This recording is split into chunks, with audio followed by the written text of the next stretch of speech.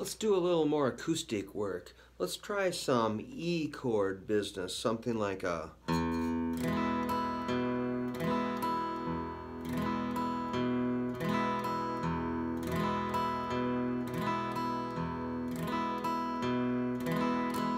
I've got an E chord here, I'm hitting the bass note and doing a down up. The alternate bass note is the fifth string repeat. And uh, these fingers are on the face of the guitar. They're kind of like sliding a little bit, but that keeps them anchored so they don't drift away.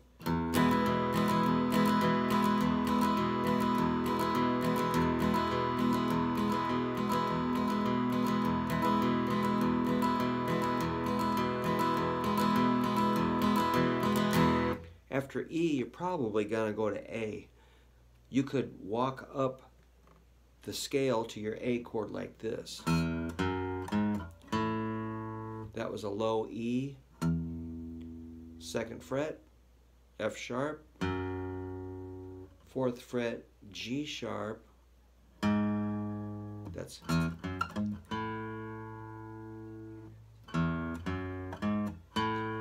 your A string, which will give you a few milliseconds to grab that chord. Make sure to use middle ring pinky, not index middle ring. That's too crowded.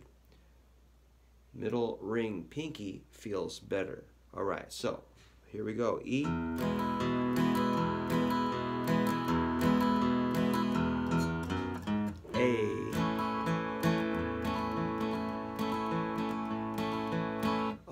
I'm hitting the bass note, which is A string. Down, up, and then the fourth string. That's your alternate bass note.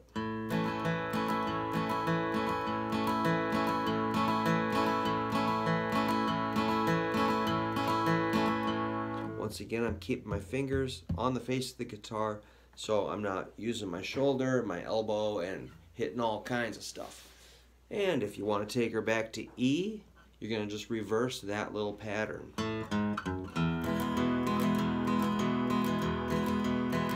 That's A, G sharp, F sharp, E.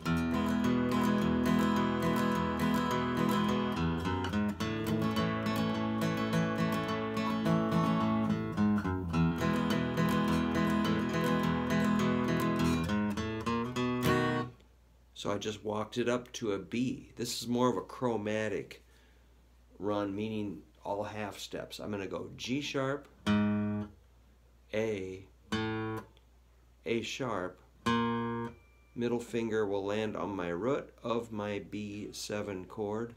So that was again.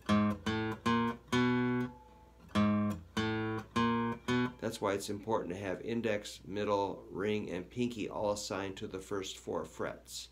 Make sure to think about that and spend some time getting that hardwired into your long-term memory so there's no, you don't want to tangle your fingers into a knot at that point. Here we go. B7 is middle, index, ring, pinky. You should know that. If you don't, here you go. Middle on the fifth string, index, fourth string, first fret, ring, third string, second fret, pinky, first string, second fret. There, there's your B7. Kind of a weird shape. You need it though. Bass note is B on the fifth string, second fret. Now, here's where it gets kind of fun. Middle finger jumps over there to get your alternate F sharp on the fat strings, second fret. Then it's to jump back. So I'm hitting this, the A string and the E string.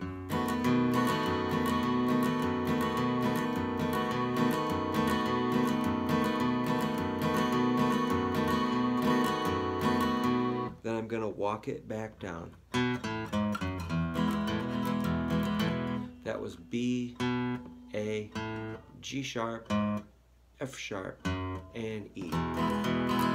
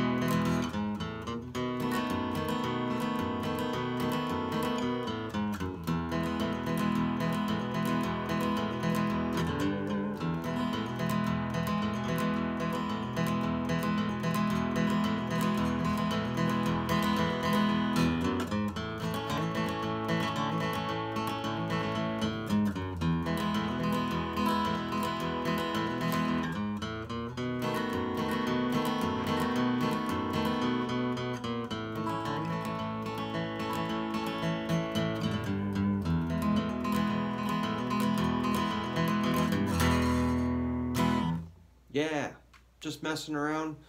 Uh, I was just kind of changing it up as I felt, improvising.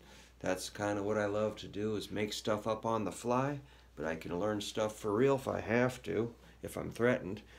But anyhow, that's uh, just some uh, alternate bass note picking and strumming, trying to keep it steady. If you make a mistake, just keep going. Do it again and again. Practice it until you got it perfect, and then do it some more, and then play some gigs.